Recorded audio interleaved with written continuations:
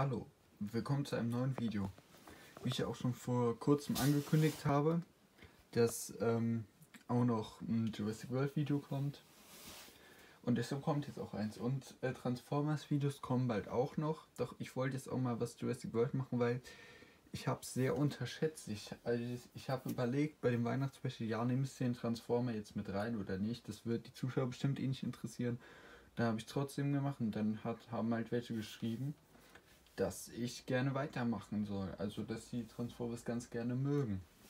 Aber ich dachte mir, es kam so lange nichts mehr von Jurassic World, also mache ich jetzt nochmal Jurassic World zwischendrin.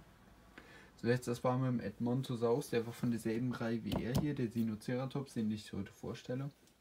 Die Verpackung zeige ich aber jetzt nicht, weil das ist genau dieselbe wie vom Edmontosaurus, nur halt hin mit einem Sinoceratops drauf. Also ich verlinke das Video vom Edmontosaurus, das war ja das letzte Jurassic World Review, da ist auch schon Monate her.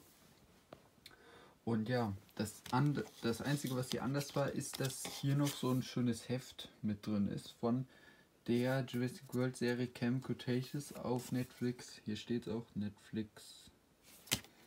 Ja, die Serie habe ich noch nicht geschaut. Ich weiß nicht, ob ich es noch machen würde. Wahrscheinlich schon. Aber sie hat halt nichts mit dem Film zu tun. Ist halt eigenständig. Und das ist eine Cartoon-Serie. Also so animiert. Also jetzt nicht so wie in den Filmen. Ja. Sinoceratops. Ich wollte ihn haben, weil ihr seht hier im Hintergrund ja den alten Sinoceratops, der 2018 zum Film rauskam, da hat man ja noch Last Minute so ähm, einen Pachyrhinosaurus repainted in den Farben des Sinoceratops, weil zuerst sollte ja im Film Pachyrhinosaurus vorkommen, doch dann kam halt doch nicht vor und dann haben sich die Ersteller gedacht, anstatt jetzt eine Figur rauszubringen, die im Film nicht vorkommt und dann halt eben eine Figur, die halt im Film vorkommt, nicht rauszubringen, dachten die einfach, ja, dann repainten wir ihn schnell.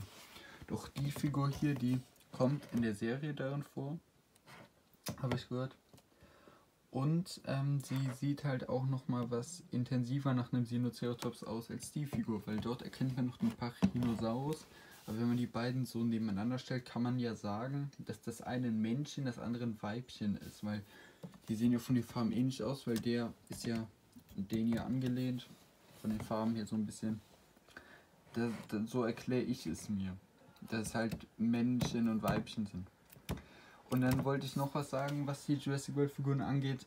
Ich wollte eigentlich ja noch den Kryolophosaurus haben, aber nee, den wollte ich mir eigentlich zu Weihnachten wünschen, doch da ist so ein Spiel immer mit den Figuren. Mal ist eine ausverkauft, dann ist die extrem teuer und sowas. Und da dachte ich mir, nee, kommt eh nicht in den Film vor und so wichtig ist die mir jetzt auch nicht. Also das hier ist die letzte, die ich hier vorstelle, bis zum dritten Teil natürlich. Ich weiß nicht, ob die ähm, dieses Jahr noch irgendwelche rausbringen, weil letztes Jahr und vorletztes Jahr war es ja so, obwohl kein Film rauskam, haben die trotzdem Figuren rausgebracht.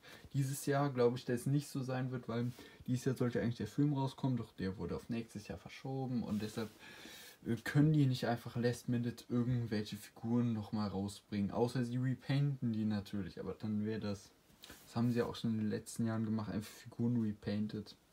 Das wäre dann total kacke.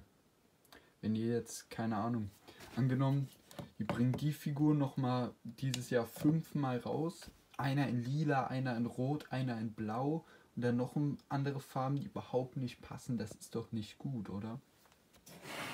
Ja, so sehe ich, ich es zumindest, wenn die meinen, ja, wir wollen.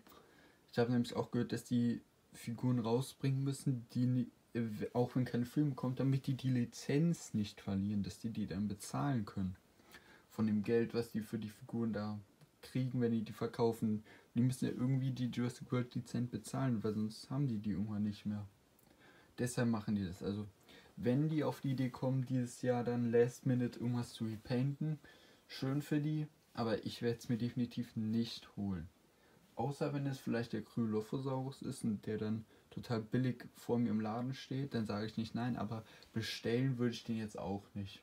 Also ich würde den alten Kryolopho würde ich mir nicht mehr bestellen, weil der ja schon was lange, etwas länger her ist, als er rausgekommen war und dann war ständig nicht verfügbar, überteuert und so. Und deshalb, wenn, wenn er mir im Laden begegnet, dann ja, aber wenn er mir im Internet begegnet, dann nein das, da ziehe ich Abstriche, weil falls das nicht passieren sollte, dass die die Figur nochmal neu auflegen. Genauso wie beim Pachycephalosaurus. Die erste Figur, die war, kam 2018 raus, kaum erhältlich. Die zweite kam ähm, bei den Dino Rivals raus, auch überhaupt nicht in einem Laden zu sehen und im Internet auch immer ausverkauft. Und dann haben die, die letztes Jahr nochmal eine dritte Version gerepainted rausgebracht und da genau dasselbe Spiel. Und die wollte ich eigentlich auch haben, doch dann dachte ich mir, ja, ich scheiß jetzt auf gut Deutsch gesagt auf die Figur, weil ich habe ja den Dracorex, ich habe den Stügel Moloch, also welche, die zu seiner Artfamilie gehören, da muss ich den jetzt auch nicht machen. Wenn es immer so ein Spiel ist mit den Figuren, mal ist sie nicht da, mal ist sie ganz teuer, das ist nee. Und das ist eh nur ein kleines Stück Plastik, also ähm, wahrscheinlich nur halb so groß wie die Figur ist der groß. Und dafür irgendwie jetzt 40 Euro so zu bezahlen, nee. Und ich zahle auch nur auf Amazon im Internet, nicht auf Ebay, was Jurassic World Figuren angeht und auch nicht auf anderen Seiten, sondern nur Amazon oder halt im Laden und ja, so, zu der Figur sind schon sechs verdammte Minuten vergangen und ich habe die ganze Zeit nur über alles drum geredet. So. Also, was sie geändert haben, beziehungsweise was an den beiden Arten anders ist, ist, dass er hier zum Beispiel Löcher drin hat. Das hatte er im Film auch.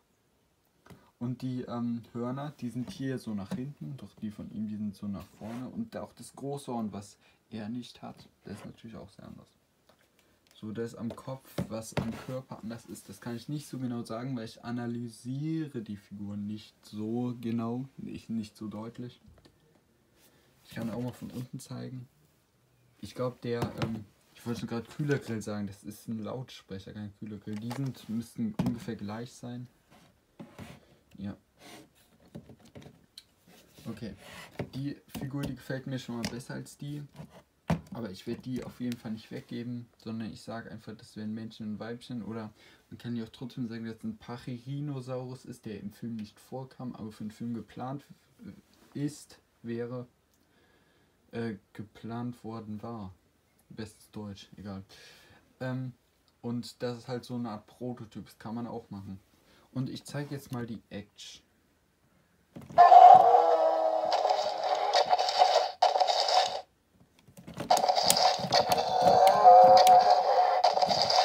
Genau wie beim Edmontosaurus muss man den Schwanz rumdrehen, dass der dann so in kopfwilden Geräusche macht. Aber es sind andere Geräusche als bei ihm. Also die passen auch. Die passen auch. Zu ihm passen die meine ich auch, aber zu ihm hier auch. Also ich weiß nicht, ob besser oder schlechter, aber sie passen auf jeden Fall.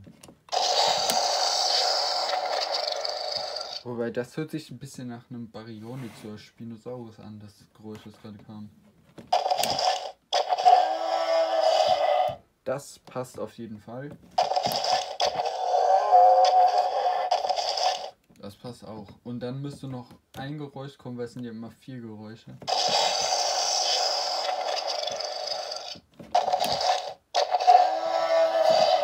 Dann sind es bei der Figur eben nur drei Geräusche. Bevor ich das Video jetzt beende, werde ich noch das Heft zeigen. Ja, das sind so die Charaktere. Und da ist der Carnotaurus, der so aussieht von den Farben her sehr stark wie im Jurassic World 2, aber er hat hier so eine Narbe.